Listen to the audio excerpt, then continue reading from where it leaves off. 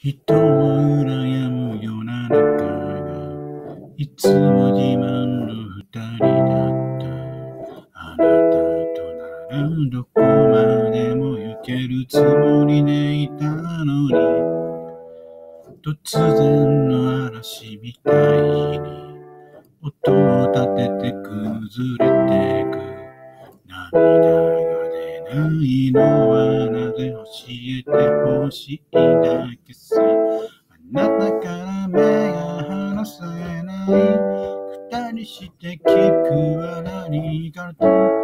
日だまりの中で泣かれいつしか時のずれずれに。思い出に酔う暇もなく。心から好きよと言えたあの頃が懐かしくて何もかもあなたがいなければ1から10まで一人言葉もないままに生きて。愛するはただ。ロンリーベン